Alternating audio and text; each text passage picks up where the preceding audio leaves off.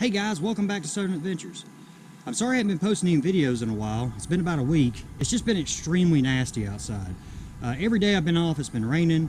The ground is just absolutely saturated right now. I haven't been able to get out hiking, fly the drone, just absolutely nothing. It has cleared off right now.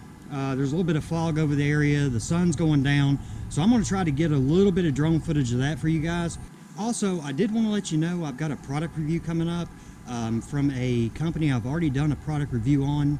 So if you are a hiker, a backpacker, and uh, you use, let's say, a hammock all the time, you definitely want to hit that bell to uh, check out this video whenever I post it. Now I want to go ahead and get the drone up real quick because the sun's going down um, and I don't want to miss this. So check out the footage.